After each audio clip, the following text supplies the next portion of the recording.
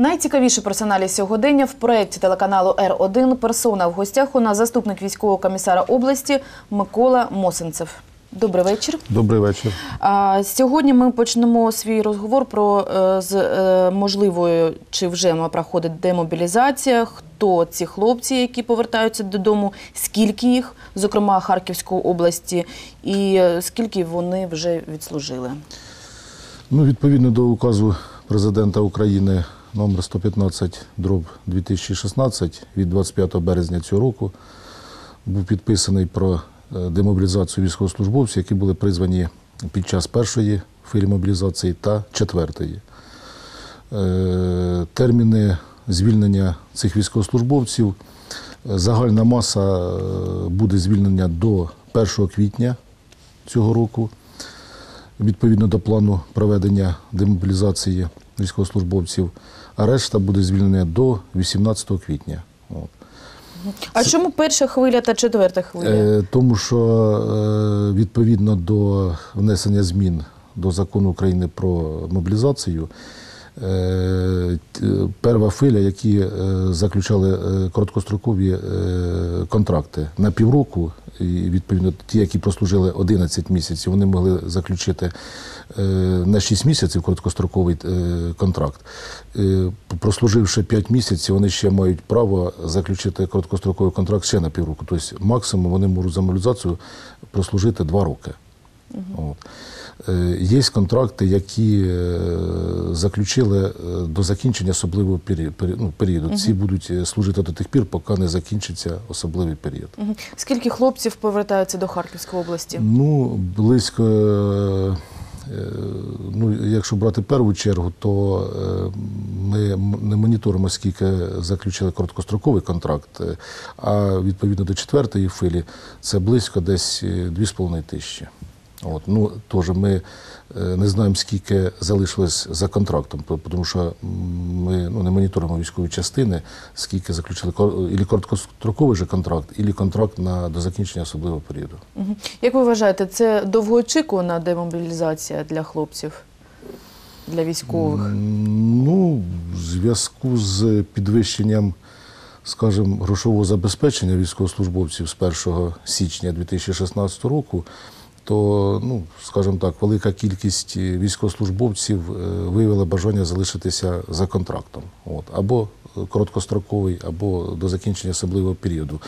Ну, тобто для- зараз вони ще виявили да, да. бажання залишатися, так? Да, да, да, то Після е, відпустки, да, можливо, після відпустки, да, можливої. І е, ну, вони е, ну, дуже велика кількість, ну, скажімо так, я. А відсоток який? Чи є так приблизні підрахунки?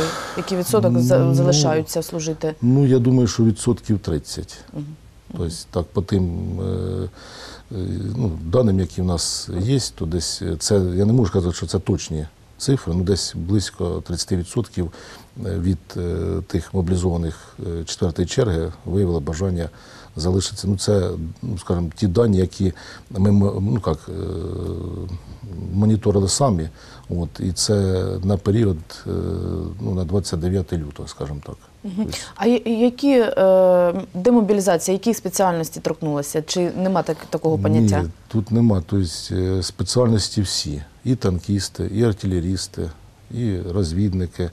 Тобто всі які, ті спеціальності, які є в Збройних силах, практично це коснулося. Тобто мобілізація проводилася. Ну, е, в більшості це піхотинці, танкісти, артилерісти. Ті, хто повертаються, що їх чекає вдома? Вони будуть оформлювати документи учасників АТО, чи е, як буде робота з ними проводитися зараз? Ну, в більшості ті, які вже демобілізуються, вони приходять вже з посвідченням учасника бойових дій, тобто ж комісії, е, які працюють в Міністерстві оборони, е, вони надають статус учасникам бойових дій тим, які проходять військову службу. А ті, які не е, отримали статус учасника бойових дій або по якимсь, е, ну, е, скажімо так, причинах не подали документи, коли проходили службу, то комісія при Харківському обласному військовому комісаріаті, яку я очолюю як голова комісії про надання статусу учасників бойових дій, вони подають документи нам на комісію через районні військові комісаріати або ж напряму, це теж можна. І комісія, ми ну, практично Ми розглядаємо ці питання ну, раз в місяць, документи, коли надходять. Якщо е, потрібно, то можемо більше засідати. І ми надаємо статуса учасника бойових дій з видачі посвідчення учасника бойових дій. На даний час у нас на території Харківської області знаходиться е, учасників е, АТО десь близько 2100 чоловік. Це і Збройних сил, і е, других військових формувань, як Національна гвардія, МВС і так далі. тому подобне. От. І е, тільки обласний військовий комісаріат надав статуса учасника бойових дій 585 чоловік. І видали ж посвідчення учасника бойових дій. Е, Дивіться, хлопці, які повертаються додому, вони, як правило, мають і психологічні проблеми, і проблеми зі здоров'ям. А Чи є ем, робота, якась планова робота на покращення їхнього здоров'я? Можливо, якісь санаторні е, заходи? Так, так, у них е, вони мають право е, проходити санаторне лікування безкоштовно в тих санаторіях і е, ті Їм пропонують, чи вони пропонують. самі повинні, так би мовити, вибивати собі? Ми, ні, ми їм пропонуємо, от, а вони вже вибирають, куди вони можуть йти. Так же само, як через обласний військовий комісаріат, так же само через органи соцзабезпечення, тобто департамент соціального захисту населення. От, і по районах так же само. Тобто вони стають на облік е, в органах соціального захисту районів, от, по, відповідно, де за місцем мешкання. От, і вони відповідно отримують всі ті пільги, які е, визнані законом України про статус ветерана війни і гарантії А які це пільги, якщо так? Ну, е, е, стаття 6 і 12, там е, ну, перелік пільг, починаючи від оплати комунальна, комунальних послуг, газ, вода, це знижка йде 75%, тобто вони тільки платять 25%. Це е, визнання. Та, ну, Це які повернулися, демобілізовані, так? ні, Чи це ті, які учасники мають іменно на- статус Мгм. учасника е, бойових, ну, або статус учасника АТО, скажімо так. Крім того, там в законі України про ветеранів і гарантів соціального захисту, стаття 15, там додавлені пільги е, членам сімей імені учасників АТО загиблих. От, пільги надаються незалежно від доходу. От, це було визнання стаття, і вона вступила в дію. Це те, що вони іменно учасникам АТО. Учасникам бойових дій в Афганістані, в других е, це, це не касається. Вони ще можуть навчатися безкоштовно у е, навчальних закладах, вищих навчальних закладах. Е, е, я знаю, що так. так, да, Які так. навчальні заклади сюди входять, е, і чи Ну, коли пе- вони можуть це зробити, навчатися? Перелік цих навчальних закладів е, визначається постановою Кабінету міністрів. От, на цей рік е, я ну, не бачу цієї ще постанови. От, ну, вони вже зараз можна здавати документи, ті вузи, які вони ви, этот, визначать. Це військові вузи, так? Я розумію. Ні, ну Чи не військові лише? ні, не, не лише. Не лише. Там е, е, військові, само собою, вони можуть там без питань здавати документи, і вони мають е, перевагу першочергово для вступу в ці військово навчальні заклади. От. А е, цивільні, ну, то є ну, теж перелік, і вони теж мають ну, переважне право поступити в ці військові е, ну, цивільні вищі навчальні заклади. Яким чином е, е, дається психологічна допомога е, бійцям, які повертаються додому? Демобілізовані. е, у нас при обласному військовому комісаріаті працює центр от, по надання от цієї психологічної допомоги. От він працює кожен день, і кожен е, військовослужбовець, який демобілізувався, або той, який навіть проходить службу, може звернутися. Так же само при, в районних державних адміністраціях, от, е, при е, управліннях праці соцзахисту населення, також там є психологи. От. І у військових комісаріатах теж уведені посади психологів, от, які, ну, скажімо так, от, надають первинну допомогу от, психологічну от, ну, в цілях реабілітації тих процесів, які проходили. Я не впевнена, що це питання до вас, але можливо ви зможете відповісти. Е, Хлопцям, які повертаються додому після війни, е, скільки їм потрібно часу для відновлення сил, для відновлення е, психологічного свого стану? Чи є такі спостереження, можливо? Ну, ви знаєте, я як людина військова, і скажу вам так: от, е, у кожного як кажуть, свій характер і, свій, і своя психологія. І це в залежності від того, де ця людина проходила службу. Чи Але ж вона- ви, ви, ви також служили, ви Ну, я 27 років прослужив в Збройних силах, потім звільнився за вислуги років і також прийшов за мобілізацію далі продовжувати службу. От, то, скажімо так, е, у кожної, як, як і людини, е, кожен відпечаток пальця, ну, тобто свій рисунок, так, от і у кожного своя психологічний настрій. От. Тут, е, як ото кажуть, як афганський синдром, так і от це все може присутствувати і все життя може, тобто люд... нельзя так однозначно людині сказати. Тобто, якщо вона отримала ну, первинну там, кваліфіковану яку-то допомогу, це залежить не тільки від е, самого психологічного стану людини, а й яка підтримка е, суспільства, сім'ї. Це дуже багато залежить. От. І я бачив таких, що от, ну, зустрічалися в мене, що ну, сімейні негаразди, і люди дуже починають як, здаються, так? Да, здаються, заглядають в чарку, і буває таке, що вони не можуть вийти з цього состояння. А буває таке, що тобто тут е, необхідна підтримка і сім'ї, і суспільства. От, це дуже багато значить. От, і тоді він швидше, як кажуть, війде ну, і психологічний свій, той стан, який був от до того. От, і, ну, скажімо так. Добре, е, можлива сьома хвиля мобілізації. Що про це на сьогоднішній день відомо?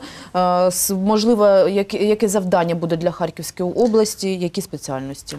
Ну, скажімо так, відповідно до того, як буде виконаний контракт, от, е, по До кінця березня, да, так? до 31 березня, не тільки по Харківській області, а й по Україні. От, і відповідно від того буде прийматися рішення е, Генеральним штабом, Міністерством оборони і відповідно ж Верховним головнокомандуючим президентом України. От, е, доцільність проведення сьомої фільмобілізації. мобілізації. Зараз, ну, скажімо так, от. е, Але в засобах масової інформації говорять про те, що вже з з 1 квітня е, мобілізація буде оголошена. Ну, щоб з 1 квітня була мобілізація, ви ж самі розумієте, сьогодні 29 березня. Для того, щоб е, сьома хвиля мобілізації пройшла, то, по-перше, це треба, щоб Верховна Рада санкціонувала указ президента про проведення мобілізації. От, то з 1 квітня, я думаю, Не це недоречно, не встигнуть. Це по-перше. Кількість е, сьомої ну, кількість військовозобов'язаних, яких потрібно буде призвати по сьомій хвилі мобілізації, ну я ж сказав е, раніше, залежить від виконання контракту. Так як сказав ну, е, міністр оборони і президент в засобах масової інформації, це буде цифра від 5 до 10 тисяч. От. По всій Україні. По всій Україні, так. Ну і можна так сказати, приблизно на Харківську область. Ну, Невелике завдання. Ну, скажімо так, порівняння. 650 70 700 е, чоловік. Це так, от якщо буде такий, е, така цифра, яка буде варіюватися від 5 до 10, скажімо, тисяч, то це, звісно, для Харківської області ну, менше е, в порівнянні з тими фільмами які проводилися. Але дивіться, якщо не виконаний контракт, то е, про яку мобілізацію може йти мова? Хто тоді хто хто піде служити е, за мобілі- мобілізацію? Ну, мобілізація це вже кажуть, є конституція, де це конституційний обов'язок кожного громадянина захищати суверенітет і територіальну з України. А контракт це людина підписує е, там мінімум 3-5 років. От, а за мобілізацію він може послужити тільки рік. От, отримуючи ті ж самі, е, е, скажімо, е, гроші, які що контрактник, що військовослужбовець, який признаний за мобілізацію. Тим більше в зв'язку з тим, що з 1 січня підняли е, заробітну плату, скажімо так, ну, денежне удовольствие, грошове забезпечення, то е, що мобілізований, що військовослужбовець за контрактом отримує е, грошове забезпечення, починаючи, ну, скажімо так, із 6 тисяч, ну, 7 тисяч, 7 тисяч, 7500 і далі. Тобто це рядовий, скажімо так. І відповідно, а в зоні АТО, якщо при проведенні безпосередньої участі в бойових діях, то доплачується тисячу гривень за кожний день. От. Ну і там, відповідно, е, процентна надбавка в премії, от, і в тих, е, в залежності від е, зони, вона поділена зараз антитерористична, ну, тобто там, де проводиться антитерористична операція, на три зони: перша, друга, третя. Тобто перша лінія, друга, третя. Відповідно, там йдуть свої відсотки. Скільки, тобто, до, ну, до цих, тобто, якщо, скажімо, контрактник е, получає тут у нас, ну, скажімо так, у Харкові проходячи службу в військовій частині, ну, 7 тисяч, то там він буде получати десь тисяч 11-12. Мгм. Дивіться, е, для України було завдання протягом трьох місяців набрати е, контрактників да, на контрактну службу. Е, Для Харківської області, якщо я не помиляюся, було приблизно чи трошки більше 945 945. чоловік. Е, Сьогодні 29 березня. Скільки чоловік набрали? Ну, скажімо так, е, 507 чоловік, уже, які прийняті і проходять службу за контрактом. Сьогодні відправили 185 чоловік, які повинні ну, приймуть і підпишуть контракт. От. І ну, е, ми е, так вважаємо і думаємо, і працюємо над цим спільно з е, обласною державною адміністрацією, де губернатор ставить цьому дуже, так сказати, е, ну, приділяє дуже велику увагу.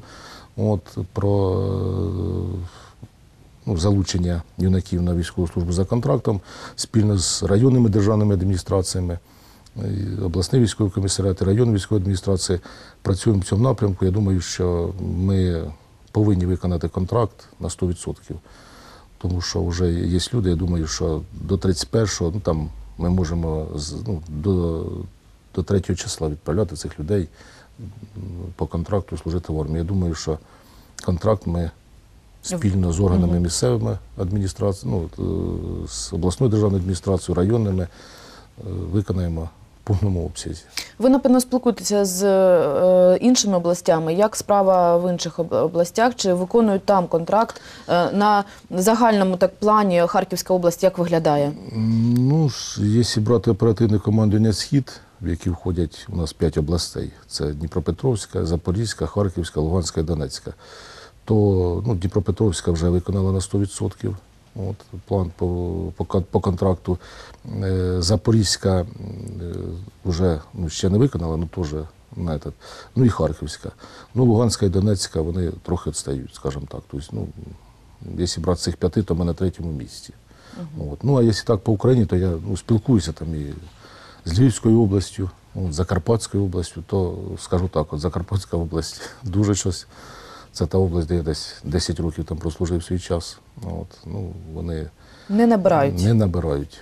Вони навіть у них 50% немає. Ну, не було. Це може, е, як кажуть, сьогодні може бути 100 чоловік, а завтра не можуть призвати і 300, скажімо так. Тобто тут е, Тобто питання про сьому хвилю мобілізації е, все ж таки відкрите, Відкрите, так, да. Коли вона буде проводитися, ну, з якого по який час, поки сказати ну, точно не можемо. Це буде, я думаю, більш е, доцільніше про це говорити після 1 квітня. Е, Добре, поговоримо з вами про е, закінчення приписної кампанії, яка закінчується 31 березня. Які результати, який це рік е, е, працювали з яким роком, та план е, призову на е, строкову службу в армію. Ну, відповідно до закону України про військовий обов'язок і військову службу, приписку проходять юнаки, який в рік проведення приписки виповняється 17 років. Тобто ті, які народилися з 1 січня по 31 грудня. Тобто, виходить, у нас зараз е, проходить приписку, це 99-й рік. От, юнаків, які проходять приписку. Прописка пройшла, скажімо, ну, відповідно до тих всіх е, законодавчих актів, без, е, скажімо так, без великих е, ну, проблем. От, і приписано на сьогоднішній Люди ну, не лякаються, батьки не Ні, ні, лякаються, ні, що ні. це відбувається. Вони ж напевно спитають у вас. Якраз в цьому напрямку прописано 100% практично. Тобто ж нема такого, що люди, тобто вони приписуються до призивних дільниць, тим більше призив зараз проводиться тільки з 20 до 27 років, тобто вік. От. А людям вони ж для отримання освіти після школи е, їм потрібно мати приписне посвідчення або військовий квиток, якщо він визнаний буде непридатним до військової служби. Добре, як буде проходити призовна кампанія по на строкову службу? Ну, знову ж, призовна кампанія, е, терміни її проведення ще не визначені. От. І е, який час вона буде проходити, я теж вам не можу сказати, тому що немає ні указу президента. От. І це буде залежати від того, знову ж, чи буде сьома хвиля мобілізації, чи не буде. Тобто, якщо буде сьома хвиля мобілізація, то швидше всього, е, ну скажімо так, якщо буде проведена сьома хвиля в квітні-травні, то призив буде червень-липень або травень-липень, тобто, щоб не, не, не совпадало. От. Якщо не буде мобілізації, то відповідно призивна кампанія буде раніше. Но терміни не визначені ще. І коли вони будуть проводитися, ну, це ми можемо тільки догадуватися, а сказати точно не можемо. Знову ж, який буде наряд на призов за військову, ну, на військову службу за призовом, теж не можемо сказати, тому що не визначено ще Генеральним штабом, яким тобто навіть е, приблизно немає цифр. Як е, проходить служба е, юнаків з 20 до 27 років, е, які були призвані от, е, восени? Е, е, Батьки хвилювалися, що їх будуть відправляти у зону бойових дій. Е, Як проходить їх служба? Чи всі вони при військових частинах нікуди їх не Да, були батьки, переживали за те, що коли проходила призовна кампанія е, на строкову військову службу, да, були деякі такі певні моменти, що батьки не вірили, що діти не будуть служити в зоні АТО. Але е, відповідно до е, указу президента, і він завірив, що ні один військовослужбовець, який проходить військову службу за призовом, не, буде проходити службу в зоні АТО. Дійсно, так воно і є. Тобто ні одного військовослужбовця, ну я не знаю таких фактів, от, і, е, щоб проходив десь службу в зоні АТО, або десь біля неї. Всі проходять у тих військових частинах або навчальних частинах от, на території, за територією проведення антитерористичної операції. Угу. Що ж, я е, бажаю вам успіхів е, і дякую вам за участь в нашій програмі. Дякую. Дякую. На цьому час нашої програми вичерпаний. Побачимось наступного тижня. На все добре.